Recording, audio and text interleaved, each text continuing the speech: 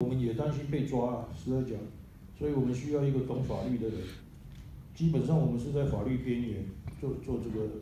二八的平反运动的。那一方面，李胜雄律师也是长老教会，所以跟教会的关系，他们教会也比较呃肯支持这样的运动。所以我们一九八七年开始第一次开记者会，就是我们三个人一起召开记者会。以后我们在全台湾二十几个县市都办了演讲跟游行。那时候戒严还没有解除，戒严是八七年的七月解除的，所以既然戒严没有解除，那时候就没有集会游行法，所以等于我们每一场集会，在统治者的心目中都认为是非法的，因为不能申请啊，他每一场都不准，啊，何况要游行，那时候根本在台湾没有这样的游行，所以每一场都被政备政报部队包围，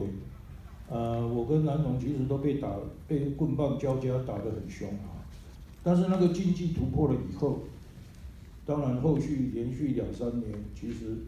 二八的这个平缓的运动就越来越壮大。第一年的时候，其实很多人不相信，说国民党政府怎么可能道歉，怎么可能赔偿？他还在执政啊，他从来不会认错的，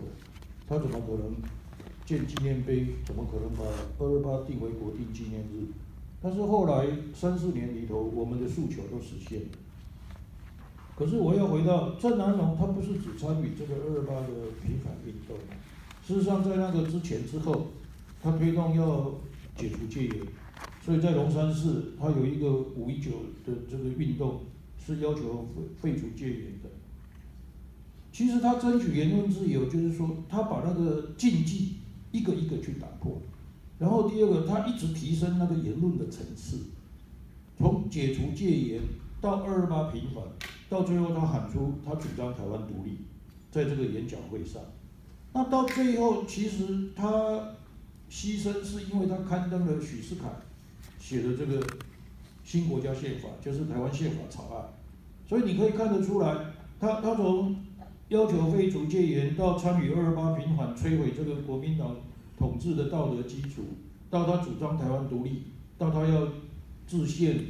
建国，他他是一步一步的，一一直把他的言论层次往上拉。